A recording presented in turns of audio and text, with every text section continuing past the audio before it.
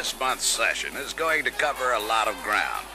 We're going to talk about servicing performance cars and performance engines available in Chrysler Corporation cars.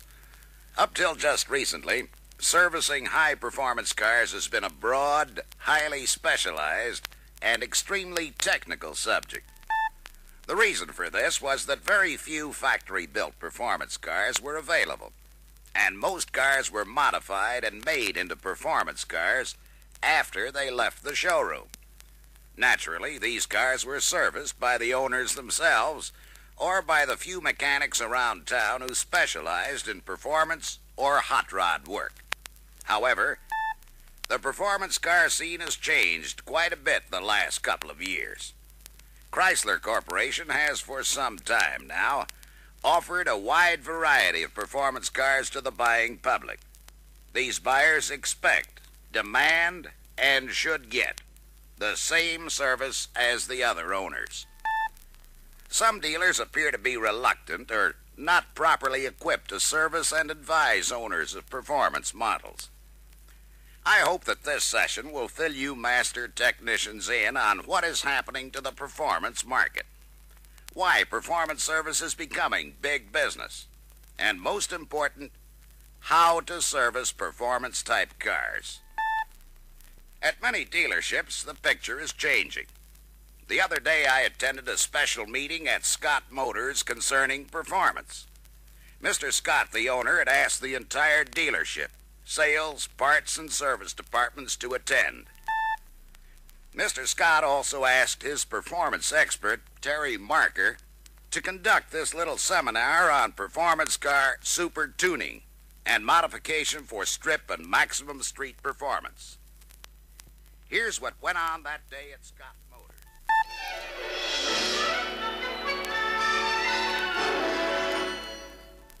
I'm glad that the sales and parts departments are in attendance tonight. Sales of performance cars affects the entire dealership as much as the sale of any other car. When I'm through, I'll turn the show over to Terry, our performance specialist. First of all, the 1969 model year had the widest selection of youth appeal cars and the biggest spread of performance cars yet. This year's performance car sales are approaching 20% of all sales. Now, that's a pretty healthy chunk of any market. And that's what this meeting is all about performance cars. Let's make a quick rundown on the models that are easiest to spot as performance cars.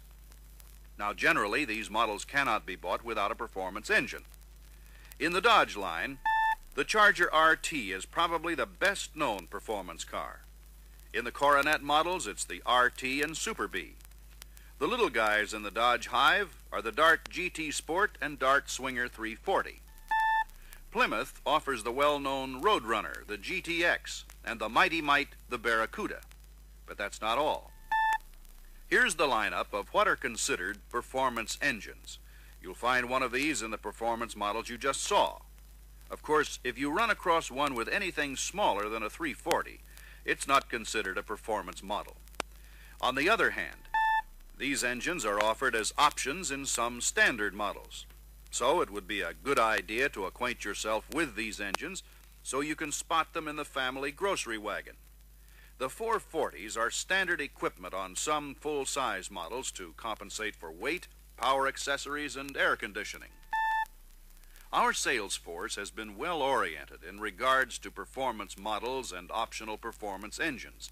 We're selling more performance cars every day, and buyers of performance cars are paying a premium for their cars. They expect and demand the same, if not more, service than other customers. Usually, performance enthusiasts are more vocal and more influential than most other customers. Owners of performance models are more exacting and discriminating in their demands than the average customer. It pays to satisfy their demands. We've found that satisfied owners of performance cars favorably influence prospects for both performance and standard production models. Dissatisfied owners can cost sales of both. Well, I think I've said about everything I can on the subject of performance. Want to take it from here, Terry? Okay, Mr. Scott, and thanks for making my part of it a little easier. Sometimes it's easy to get confused about what is and what isn't considered a performance car. I guess the whole problem really starts with the word itself performance. Every car owner wants good performance out of his car, that's only natural. However, the performance car owner usually wants that little extra something out of his machine, and that little something is maximum performance. Every performance car we sell is carefully tuned before delivery. Now, don't get me wrong, I'm not saying that the car as delivered from the factory will be running bad. It's just that assembly line operations don't lend themselves to critical tuning performance engines deserve. Starting with the carburation, make sure that all air fuel adjustments are precise. Check the manuals and service bulletins for the specs and procedures. You might want to refer back to Master Tech Session number 699. It's got all the latest dope on four barrel carbs. Check the float level, accelerator pump stroke, idle speed, fuel mixture, and on the AVS, the secondary air valve and the secondary throttle opening sequence. Of course, there are other adjustments, but if you take care of these, you'll be in pretty good shape. And when you're sure the fuel situation is right, you better make sure there's a spark there at the right time for ignition and proper combustion. Check the distributor dwell, and if necessary, set the contact gap. Check the ignition timing to make sure that it is dead right. How about the plugs? I was just coming to that. On performance cars, we check the plugs to make sure they're the right type and heat range. Check the gap and adjust if necessary. And when you're installing the plugs, make sure the gasket, if required, is seated properly, and always torque the plugs to the correct specs. This eliminates the possibility of cracking the insulator. As a final precaution, check all ignition cables at both the plugs and distributor cap. Make sure they're on tight when you connect them. What's next, Terry? Well, Tech, there's always the guy that wants his car to run a little bit better than the rest and still be as streetable as Aunt Martha's station wagon. He can do this with spending very little money and the bare minimum of part changes. We call this little operation super tuning. The most obvious thing to do is try and get more gas into the cylinders. A couple of thousandths bigger jets are the first thing to install. Then, to go along with the bigger jets, change the accelerator pump linkage to get a long stroke. While you're at it, make sure the float level is at the maximum setting to let you store the extra fuel that the big jets and long pump stroke will need. Because of the richer mixture, you'll need more spark advance because a rich mixture burns slower and must be ignited sooner. In addition to the extra advance, low speed torque and throttle response can be improved by changing the slope of the distributor advance curve. To rework the advance curve, remove the heavier governor spring and stretch the other spring to give the desired curve. Be sure to leave enough spring tension to retard the advance while starting. And, in most cases, the full advance should be completed by 1200 to 1500 RPM crankshaft speed. And make sure the total advance is limited to 34 to 38 degrees. If any technician isn't exactly sure about how to change the curve, the easiest thing to do is replace the single point distributor with a dual point system. Of course, whichever you do, make sure to always use the best Chrysler points available. They'll throw a better and more consistent spark and last a lot longer when subjected to high RPM running. In the spark plug department, a slight change will be necessary. Normally, recommended heat ranges will be adequate, but if the owner plans on extensive high RPM operation, it'll be necessary to go one or two steps colder on the plugs. Just to make sure that spark reaches the plug at full power, I'd suggest installing solid wire ignition cables from the distributor to the plugs. The only thing is, when you install solid wire cables, always install resistor plugs along with them. If you don't, your customer may be unhappy because of radio interference from the cables. That should take care of the ignition. For the final touch, wire open or eliminate the manifold heat control valve. Again, ask the customer if this is acceptable to him. Remind him that the warm-up performance will be a little rougher and complete warm-up will take a little longer. That wraps up the subject of super tuning performance cars. I want to mention at this point that customers should be informed of possible warranty restrictions connected with modifications for racing. I think the next area that Terry is going to cover pertains to this subject, so Why don't we see what he has to say? I think we've turned enough RPMs to finish this side of the record. Will someone please turn it? Modification for maximum street or drag strip performance is a pretty large topic to discuss. There are a lot of things you can do to a performance car without even getting into the heads or block. But before we get into that, Mr. Scott mentioned warranty, and I mentioned drag strip, so let's clear that up right now. You better tell your customers just like it is. For all practical purposes, racing or participation in other competitive speed events voids the warranty. When it comes to modifications, unauthorized alterations or use of parts or material not approved by Chrysler Corporation will also void the warranty. But that doesn't mean there aren't plenty of authorized adjustments and approved parts goodies available for the customer that wants some customized performance service. So let's get back to the performance bag. If they haven't been done before, all of the procedures for super tuning must be done along with the strip modifications. Just like any hard-playing athlete needs his Wheaties, a performance engine must be fed right if it's going to run hard. Let's take a look at fuel induction and see what can be done to improve it. On performance cars, Flooding and vapor lock can be prevented by installing the correct fuel pressure regulator in the fuel delivery system. If the car doesn't already have one, installing an unsilenced air cleaner will improve the breathing. The other alternative is to install a hot rod or bonnet type air cleaner approved by Chrysler. But remember, the extra air coming in is going to affect the air fuel mixture. Always reset the idle speed and fuel mixture after installing a different air cleaner. If you want to modify the stock system, several intake manifold and carburetor combinations are readily available that can increase performance, depending on which system the particular engine is equipped with. Let's see what's available.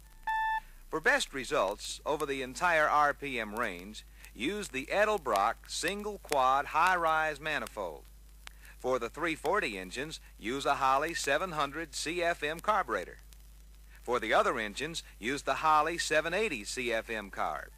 If a 440 is equipped with a Carter AVS, increased performance is easily obtained by changing to a Carter AFB or Holley 850 CFM job for engine speeds up to 5,000 RPM. For best performance above the 4,000 RPM range, Use the factory dual quad intake mounting with the Carter AFB carburetors.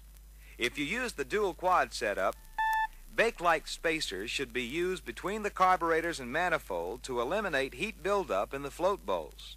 If the spacers are not available, use a stack of five or six carburetor mounting gasket. That takes care of the fuel department. The next thing is to make sure you have the spark to ignite the fuel charge. If the car is to be used primarily for drag racing, install the super stock transistorized ignition. If you use the transistorized ignition, you should install the Hemi super stock points also. Now these points are shorter, lighter, and will run at much higher speeds without encountering point bounce. But be careful, these points are designed for the transistorized ignition.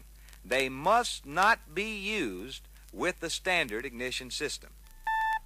For street use with the transistorized ignition, the standard recommended plug should be used. But if you plan on extensive high RPM operation or drag racing, you should use plugs that are one or two steps colder. There's a few more things you can do under the hood to improve performance.